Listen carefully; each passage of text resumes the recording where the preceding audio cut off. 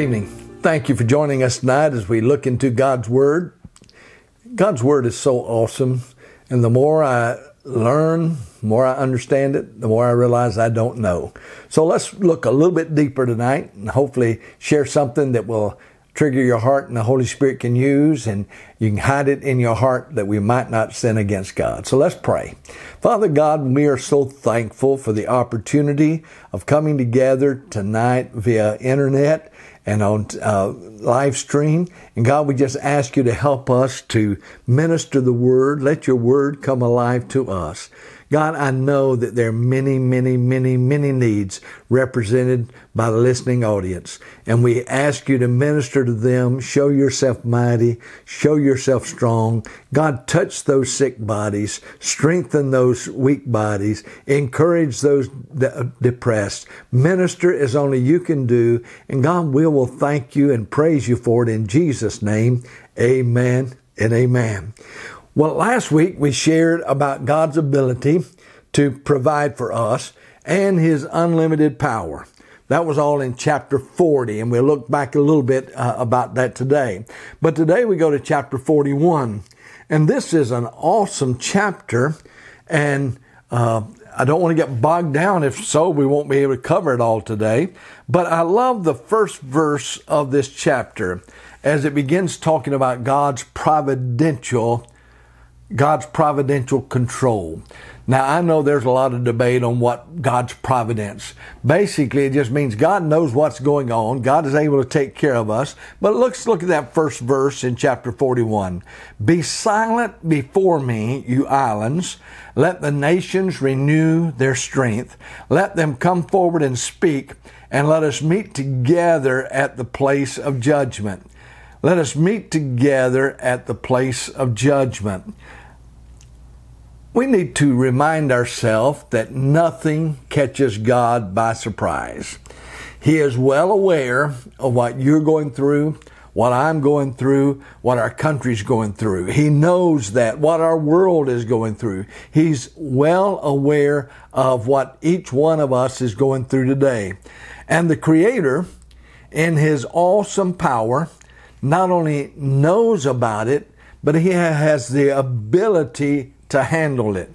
Now, as I was reading that, it says, let us meet together at the place of judgment, I was really um, intrigued by that translation in the New Living Translation. That last line, it says, the court is ready for your case.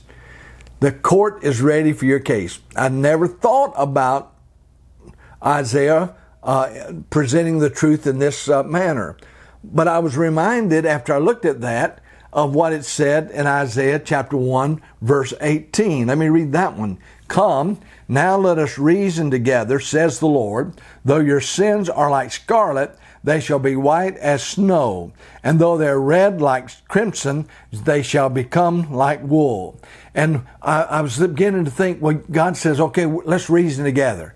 And so for the next number of chapters, as we unpack that, we see God telling us about who He is, how powerful He was, and they seem to be presenting a truth that God is who He says He is.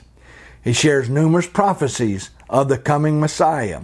Now, I have often thought about the Gospel of John being a court scene, with every chapter in the Gospel of John being evidence to make the jury, that's the readers, the jury, those that read it, come to the conclusion that Jesus is who he says he is. Now let's look over there just in comparison. Let's look at John chapter 20, verse 30 and 31.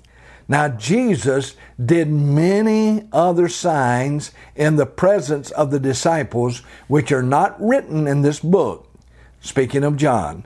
But these are written so that you might believe that Jesus is the Christ, the Son of God, and that by believing you may have life in His name. See, the only thing that they tried Jesus for is, and they could find Him guilty of, is He claimed to be the Son of God. And so John, after walking with him for three years, after hearing him minister, and after writing this uh, later on, he said, Jesus did many signs and wonders. But it says, but these are written so that you may believe. In other words, that everything that he had told us about in the Gospel of John, he had presented the evidence that Jesus was who he said he was. Now look at the last couple of verses in John. This is the disciple who is bearing witness about these things and who has written these things that we know that the testimony is true. In other words, I'm speaking as a witness. John was saying, I was an eyewitness to all these things that I wrote. Now, there are also many other things Jesus did, were every one of them to be written, I suppose that the world itself could not contain the books that would be written. Think about that John as presenting the evidence. He said, Jesus is who he says he is. He is the Son of God. He said, I'm eyewitnesses this much. Now I know there's numerous, numerous, numerous other things that he did that I didn't see, but I vouch that they're all true. So even in the first verse of John, in the beginning was the Word, evidence, evidence. And so he concludes his book by presenting the jury, that is everyone who reads the Bible. Here it is. What is your verdict? In other words, are you going to believe that God is who he says he is? Are you going to believe what the Bible says? Are you going to listen to the Satan? Are you going to listen to the negativity? Or are we going to believe what the Word of God says? Now, I've already mentioned I never thought about Isaiah written in that way. But it does appear from the verse today that Isaiah was writing together. And of course, Isaiah gives us more prophecies of the Old, cha- Old excuse me, um, in the New Testament of gives us more prophecies of what happened in the New Testament than any of the other prophets. Talks a lot about the Messiah. And so, what did it cover in chapter 40? God's love, God's concern, the frailty or the brevity of life, God's unlimited power, the Creator's strength, the futility of idols. In other words, uh, you can depend on idols or you can listen and believe in a living God. And then we come to that verse that we read. It says, The court is ready for your case. The course is ready for your case. So let's read chapter 41. I'm going to read it quickly with um, limited commentary, just looking at it because we want to think about this tonight. And it says, Be silent before you, me, you islands. Let the nations renew their strength. Let them come forward and speak. Let us meet together at the place of judgment. Who has stirred up one from the east, calling him righteous? The one from the east. We find out that that's referring to a guy by the name of Cyrus calling him in righteousness to his service. His hands subdue, he hands nations over to him and subdues kings before him. He turns them to dust with his sword, to wind blown chaff with his bow. He pursues them and moves on unscathed by a path his feet have not traveled before, who has done this and carried it through, calling forth the generations from the beginning I, the Lord, with the first of them, and with the last. I am He. I'm the one. I'm your God. And then he talks about Israel being the special chosen one. The islands have seen him in fear. The ends of the earth tremble. They approach and come forward. Each helps the other and says to his brother, Be strong. The craftsman encourages the goldsmith, and who, who smooths with a hammer spurs on him who strikes the anvil. He says of the welding, It is good. He nails down the idol so it will not topple. Now, what was that all boiled down? What did that mean? It means that an idol is no stronger or no better than the person that creates it. Think about it. And it talks about the different things. The goldsmith encourage, is encouraged, and he smooths with a hammer, and he spurs on that one that strikes with the anvil, and he tells the one doing the welding, it is good. But you, O Israel, my servant Jacob, who I am chosen, your descendants of Abraham, my friend, I took you from the ends of the earth, from its farthest corners. I called you and I said, You are my servant. I have chosen you and have not rejected you. So do not fear. I am with you. Do not be dismayed, for I am your God. I will strengthen you and help you. I will uphold you with my righteous right hand. I will read that promise again because Isaiah was writing prophetically. He really was writing for his present day. He was writing for a generation or so down the road. He was writing to the time Messiah would be, born. And he was writing to us. And it's a promise that he has for his children. He says, I have chosen you and I've not rejected you. So do not fear, for I am with you. That should bring a lot of comfort to each one of us tonight. We realize that regardless of what's going on, it did not catch God by surprise that the sovereign God is able to take care of us and he will uphold us with his righteous right hand.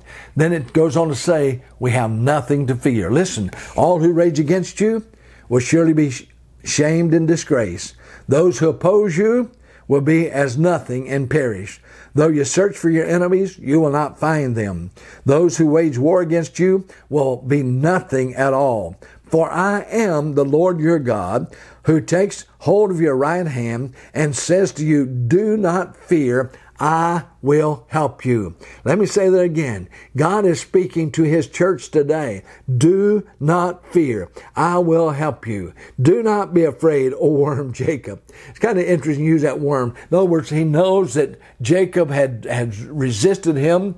Jacob had went back on him. But God said, listen, do not be afraid, O little Israel, for I myself will help you, declares the Lord, your Redeemer the Holy One of Israel.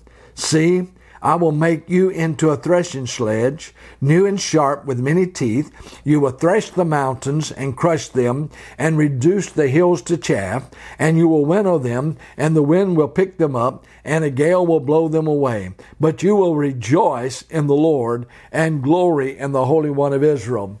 Don't want to spend a lot of time on that, but that is a beautiful analogy that he talks about. He'll make you a threshing sledge. Okay, what that is, is when they harvested the grain, they would drag something over to break up the uh, husk, to break up the husk to release the seed. Because you don't eat the husk, you eat the seed. And so the threshing sledge uh, broke it up. And then notice what it says. Uh, and you will reduce the hills to chaff. In other words, the wind will come and pick them up. Pick what up? Pick up all the chaff. Blow away all the trash. Blow away all the garbage. But you will rejoice in the Lord and glory in the Holy One of Israel. Who do you think the Holy One of Israel would be? Yes, prophetically speaking of the Lord Jesus Christ. Then he goes on to tell us that our needs will be provided for. The poor and needy search for water, but there's none. Their tongues are parched with thirst, but the Lord will answer them. I, the God of Israel, will not forsake them. I will make rivers flow on barren heights and springs within the valleys. I will turn the deserts into pools of water and the parched ground into springs. I will put in the desert the cedar and the acacia, the myrtle and the olive. So even in the desert, God will provide. And he said, I will set pines in the wasteland, the fir and the cypress together, so that the people may see and know and may consider and understand that the hand of the Lord has done this, that the Holy One of Israel cannot fail. The Holy One of Israel has created it. God says, I will provide for you. I will take care of you. And we need to understand something. Idols can't do that. He goes on to say in verse 21 Present your case, says the Lord. Set forth your arguments, says Jacob's king. Bring in your idols to tell us what is going to happen. We know that an idol can't predict the future. The idol does not know what's going to happen to you. An idol cannot protect you. It says, tell us what the former things were so that we may consider them and know their final outcome. An idol can't think, can't reason, can't give you thought, or declare to us the things to come tell us what the future holds so we may know that you're God. In other words, ask the idol. You can ask him anything you want to. And if he begin to speak to you and tell you things that have never happened, then you might could trust an idol. But until an idol can de- become greater than the creator, we don't need to listen to idols. And God is a creator. Do something whether good or bad, so that you will be dismayed and filled with fear, but you're less than nothing, and your idols are utterly worthless. He who chooses you is detestable. Then it goes on to talk about false prophets. It says, I've stirred up one from the north, and he comes. I mentioned Cyrus earlier. I was mistaken. This is when Cyrus we're speaking of. He talks about Cyrus, one from the rising sun who calls on my name. Now I want to go over there because it doesn't really um, name uh, Cyrus at that time. But let's go over to chapter 45, chapter 45 of Isaiah, and we'll find that he is named. Isaiah chapter 45, it tells us that Isaiah is named, uh, excuse me, Cyrus is named. Thus says the Lord to his anointed, to Cyrus, whose right hand I have grasped, whose right hand I have grasped. Now, again, over in chapter 1, he re- 41, he referred to Cyrus. Here he names him. And I know somebody said, well, big deal. Cyrus was well known. He, everybody knew about Cyrus.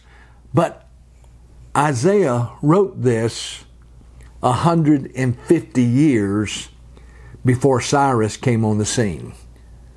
150 years before he came on the scene. We know that if you go all the way back to Ezra, and I say all the way back to Ezra, Ezra was actually written quite a bit after the time of Isaiah. But Ezra chapter um, 1, verse 1, in the first year of Cyrus, king of Persia, that the word of the Lord by the mouth of Jeremiah might be fulfilled, the Lord stirred up the spirit of Cyrus, king of Persia, so that he made a proclamation throughout all his kingdom and also put it in writing. This was when they, he authorized the rebuilding of the temple, roughly 150 years later. But God knew it then. He revealed it to Isaiah then. And Isaiah said, uh, and because uh, he wrote this um, about 30, uh, 339 or 338, or excuse me, it happened about 339, 338, uh, but Isaiah was written around 696, so 150 years. Once again, proof that nothing catches God by surprise. Think about it. He looked forward into the future and he named Cyrus, who was not even born. And he said, He is the one. He is the one. He is the one. What an awesome God we serve. Let me just read, read on there. He treads on rulers as if they were mortar, as if they were potter, potter treading the clay who told us this from the beginning so we could know, or beforehand, or we could say he was right. No one told us this. No one foretold it. No one heard the, any words from you. I was the first to tell Zion, Look, here they are. I gave to Jerusalem a messenger of good tidings. I look, but there's no one no one among them to give counsel, no one to give answers when I ask them. See, they're all false. Their deeds amount to nothing. Their images are but wind and confusion. So let's go back and just reiterate that one verse that we uh, read. It says, Be silent before me, ye islands. Let the nations renew their strength. Let them come forward and speak. Let us meet together at the place of judgment. Or what he's saying, the court is ready for your case. Isaiah said, Here's the evidence. Here's the evidence that God is who he says he is. I know and I don't understand how anybody could be an atheist. I don't have enough faith to be an atheist. I don't have a faith, enough faith to think this world just happened. I don't have enough faith to believe that it just evolved. Years ago, I was playing softball and I had a real nice watch on. I just stopped by the field and had my jeans on, so I, I took my watch off so I wouldn't hurt it and get, wouldn't break it. Stuck it in my jeans, slid into second base, and broke that watch into dozens, maybe hundreds of pieces. You know, I threw that watch away.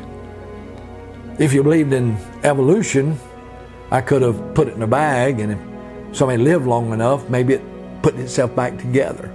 You say that's totally ridiculous.